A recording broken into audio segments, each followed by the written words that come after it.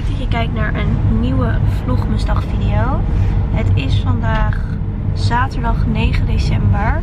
En het is de achtste dag dat ik Vlogmas doe. En wij zitten in de auto. Nou ja, niet in mijn auto. We hebben een busje gehuurd. En die hebben we net opgehaald om 9 uur. En um, we gaan dus dat busje gebruiken voor de verhuizing.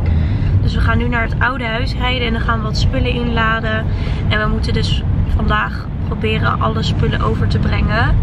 Dus de bank en de grote meubels, maar dat past niet in de auto. Dus we hebben een busje gehuurd. En als je heel veel zin hebt in deze video, zou ik het erg leuk dat je een duimpje omhoog doet. En abonneert op mijn kanaal. En dan heel veel kijkplezier. Nou, het is inmiddels half negen. En ik heb dus de hele dag niks gefilmd. Ik had vanochtend alleen de vlog geopend. Want we zijn de hele dag bezig geweest met verhuizen. En ik heb gewoon niet mijn camera gepakt. Het was zoveel werk. Het is nu half negen. We zijn net bij Ikea geweest. En we zijn er echt helemaal gesloopt. Dus wat ik dacht. Ik weet niet of ik vanavond nog iets ga filmen. Maar anders dan film ik morgenochtend even een Q&A. Dat ik dat in de vlogmus kan doen. Dus dan, uh, of ik film even iets anders, make-up of weet ik veel wat. Maar zodat ik vandaag eigenlijk niks meer hoef te filmen. Maar je maar misschien straks filmen wat uh, de uitpakken. Oh ja, dat is wel waar. Ja, we gaan zo meteen wel wat spullen nog in elkaar zetten en uitpakken. Dus ik moet eventjes kijken hoe ik dat ga doen. Maar ik heb in ieder geval nu overdag helemaal niks gefilmd. Wij zijn thuis van de Ikea en we zijn echt helemaal gesloopt. Het hele huis staat vol met spullen. We hebben alles verhuisd. We zijn gewoon 12 uur non-stop achter elkaar door geweest. En nou ja, dit is nu de schade. dit is de bank. We hebben dus nu de tv hier met tv-meubel. Hier tussen allemaal verhuisdozen met allemaal spullen, kussens, dingen. Karton wat we moeten weggooien. De eettafel en de lampen hangen dus. We vinden het echt heel mooi. Dus dit is eigenlijk het eerste wat af is. Dan hebben we net bij de Ikea dus allemaal kasten gehaald. We hebben gewoon die malmkast gehaald. We hebben ook nog een zwarte kast gehaald. We hebben een nieuw kleed gehaald. We hebben nog een kastje gehaald. Ja, verder staat hier dus helemaal vol met verhuisdozen en spullen. Hier ook. De kussens van uh, de bank. Dit staat helemaal vol. Dan hebben we deze spiegel opgehaald. Super mooi. En dan hier allemaal spullen. Nou hier stond het natuurlijk al helemaal vol met spullen. En dit is alleen nog maar erger geworden. Het is vooral mijn zooi. Want ik heb echt te veel spullen. En dan hebben we natuurlijk in de kledingkamer. Maar hier staat denk ik niks. Nee, bijna niks. Alleen spiegel en de sokken. Dus we hebben echt veel te veel spullen. Wat we allemaal nu nog moeten gaan opruimen. We gaan dus nog heel even de bank in elkaar zetten. Alsof we nog niet genoeg hadden gedaan. Zo. Dus dat zijn deze drie onderdelen. Nou, de bank is af. We moeten hem alleen nog even rechtop zetten. En de laatste dingen aandraaien. En hier liggen dus de kussens.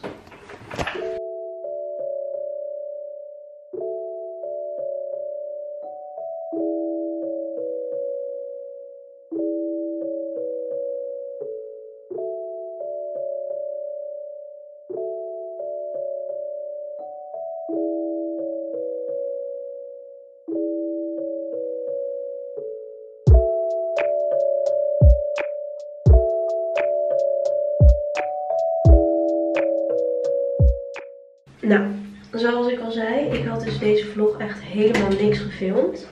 Het is nu de volgende dag. En ik dacht, ik doe nu gewoon even een beetje kletsen, Q&A-achtig en me klaarmaken. Ik hoop dat het geluid een beetje oké is, want ik sta dus in de badkamer. En dan morgen komt er gewoon een normale video online, want dan ga ik wel de hele dag filmen. De reden dat ik dus niet had gefilmd is omdat ik dus de hele dag waren bezig met de verhuizing. En tussendoor, ja, ik moest de hele tijd spullen tillen. En we gingen het gewoon doen met z'n tweeën. Dus het was best wel een beetje zwaar. En nou ja, ik vind mezelf niet super slap, maar ik ben ook niet super sterk. Dus het was best wel veel moeite om alles uh, ja, omhoog en omlaag te tillen. Vooral vanuit mijn oude huis. Want daar had je meerdere trappen en er waren best wel kleine doorgangetjes. Dus ja, dat was gewoon best wel veel moeite. In dit appartement heb je gewoon een lift. Dus dat is fijn, maar het is gewoon veel werk. En we gingen daarna dus ook nog naar de Ikea, omdat we dus het busje hadden. Dus we zijn denk ik gewoon van 8 tot nou ja, 10 uur s'avonds zijn we naar Ikea en de spullen hebben we dan gedaan. En toen hebben we dus ook nog, ehm, nog de bank in elkaar gezet en ja, dat soort dingen. En we gaan in de vlog van morgen zien jullie dan hoe we alles een beetje gaan opruimen en klaarmaken. Waarschijnlijk lukt het niet in één dag, maar we hoeven nu in niks meer te verhuizen. Dus dat is fijn. En ik dacht, dan doe ik gelijk eventjes mijn make-up. Dan zit mijn make-up er ook op. En dan komt er wel gewoon een vlog online. Want ik vind het wel heel erg leuk om elke dag een vlog online te zetten. En ik krijg tot nu toe ook echt hele positieve reacties. Dus dat vind ik heel erg leuk. Ik moet heel even mijn beauty blender nat maken. Dus ik kom zo terug. Yes, ben ik weer. En tot nu toe heb ik dus eigenlijk alleen maar hele leuke reacties. Dus ja, dat vind ik wel echt heel erg fijn. Iedereen is heel erg positief. Want ja, je steekt er toch wel meer moeite in dan bijvoorbeeld een TikTok video. Want je bent de hele dag aan het filmen en aan het editen. En ik wil altijd dat een video sowieso langer dan 10 minuten duurt. En ja, mijn werk ging ook gewoon door. Dus voor mij is het wel makkelijker om dingen te filmen. Omdat ik natuurlijk gewoon fulltime werk. Dus je hebt de hele dag iets te doen. En in het weekend hebben we nu de verhuizing. Dus je hebt de hele dag kan je gewoon dingen filmen. Dus dat is heel makkelijk voor mij. Daar heb ik helemaal geen moeite voor te doen. Maar gewoon meer het editen en het klaarzetten. Dat kost gewoon voor mij heel veel tijd. En omdat ik gewoon nawerk ben ik echt gesloopt. Dus dan wil je in de avond wil je gewoon even wat voor jezelf doen. En omdat je natuurlijk op jezelf woont, moet je ook gewoon koken, dat soort dingetjes. Gewoon voor jezelf zorgen. En dan zit er nu ook nog een verhuizing bij. Nou, ik kreeg best wel veel vragen over de verhuizing. Dus ik dacht, misschien is het leuk om even die vragen een beetje te beantwoorden. Vooral heel veel vragen, hoe komen we bij dit huis? Nou, en mijn tip is echt, want ik was op zich nog niet eens super lang aan het zoeken. Maar je moet even in jouw zoekgebied, moet je even alle makelaars zoeken en alle sites die jouw um, zoekgebied um, aanvinken. Dus nou, dat had ik gedaan. Dan had ik van alles een linkje in mijn notitie gezet. Dus ik had iets van 15 linkjes had ik in mijn notities. En dat waren dus allemaal linkjes. Als je daar gelijk op drukte, kwam je naar de zoekpagina voor jouw wijk waar je graag wil wonen. En ik had dan wel gewoon een plaats.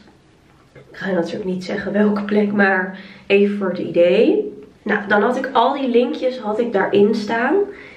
En dan hoefde je dus ook niks meer op te zoeken. Dus als je daarop drukte, kwam je gelijk in de plek die je nodig vond. En wat ik dan dus deed, is dan keek ik dus elke dag. Nou, ik denk dat ik 10 minuutjes bezig was. Keek ik elke dag gewoon daarop. En dan vooral een beetje begin van de dag. Want rond 10 uur komt meestal de meeste dingen online. En om 10 uur keek ik dan ook wel eventjes.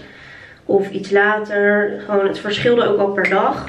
Maar in ieder geval elke dag eventjes kijken. Want degene die als eerst reageert heeft ook meer kans om het te worden. En um, nou ja, daardoor hebben wij dus twee bezichtigingen gehad. Eigenlijk twee dingen waar ik ook al op had gereageerd.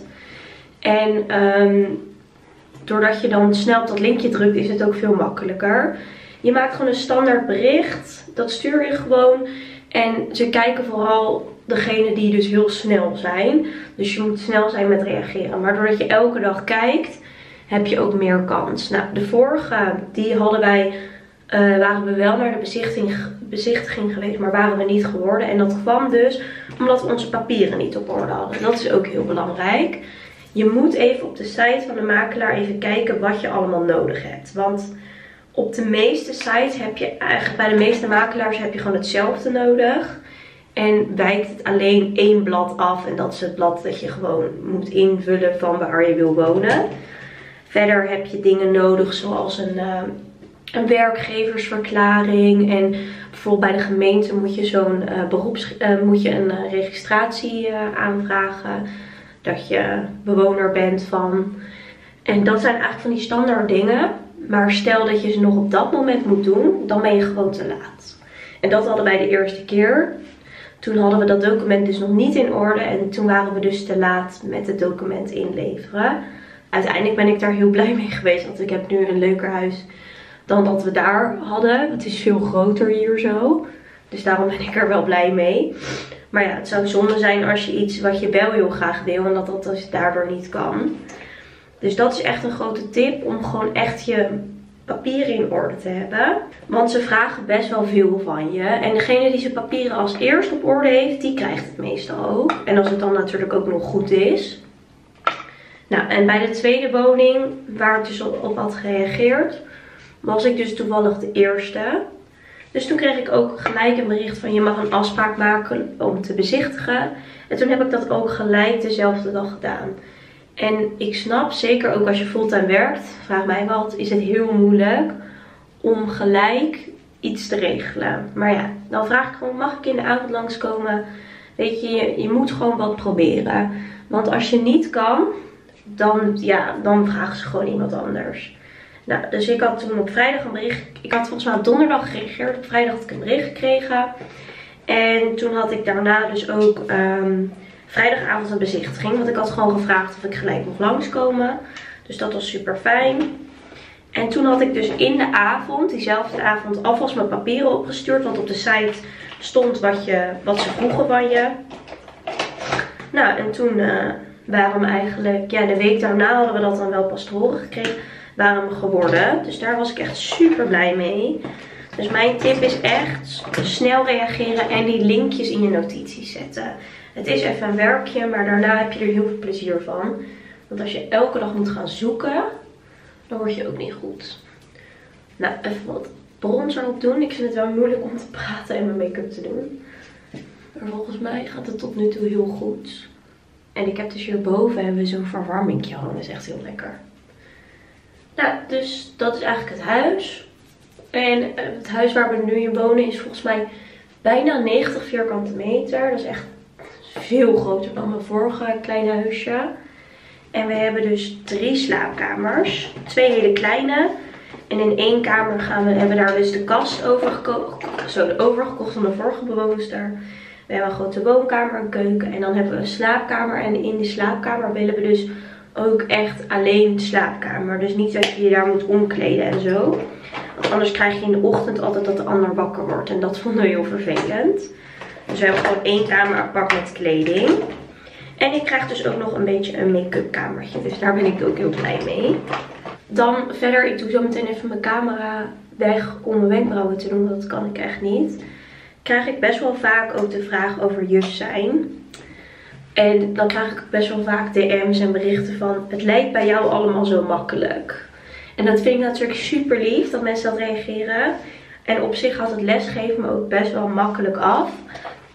Maar ik wil ook tegen jullie zeggen, wat je natuurlijk ziet op beeld, is niet hoe het altijd echt gaat. Kijk, ik moet ook wel eens vijf minuten wachten tot de kinderen stil zijn. Maar dan ga ik niet vijf minuten in beeld doen dat de kinderen aan het praten zijn. Dus ik knip natuurlijk wel alleen de momenten eruit dat het rustig is. En um, dat wil ik wel echt tegen jullie zeggen. Dat het niet altijd zo is van ze zijn altijd helemaal stil. Kijk, tijdens de lessen verwacht ik wel echt van de kinderen dat ze helemaal stil zijn. En dat gebeurt dan ook. Dus als kan ik gewoon niet fijn lesgeven. Maar bijvoorbeeld bij een lesovergang mogen ze van mij gewoon kletsen. En dan mogen ze gewoon hun spulletjes pakken. Maar dat soort momenten film ik dan niet. Maar ik was vooral heel erg benieuwd wat voor vragen jullie dan hebben. Want dan kan ik een aparte Q&A daarvoor opnemen. Gewoon alleen maar over juffe dingen. Want ik weet gewoon dat ik... Ja, ik krijg best wel vaak DM's. En dan vind ik het toch lastig om een heel bericht te typen. Omdat ik het best wel druk heb. En daardoor doe ik het dan liever in een video beantwoorden. Zodat iedereen er wat aan heeft. Nou, mijn wenkbrauwen zitten erop. Ik doe altijd nog even wat setting spray op van Urban Decay. Altijd veel te veel. En dit was eigenlijk een beetje mijn basic make-up routine. Ik hoop dat jullie dit wel leuk vonden dat ik dit nog even in de vlog heb gedaan. En morgen ga ik dus alles opruimen in mijn huis. Dus ik hoop dat jullie er ook zin in hebben. En dan zie ik je morgen weer bij een nieuwe vlogmusdag. Doei doeg!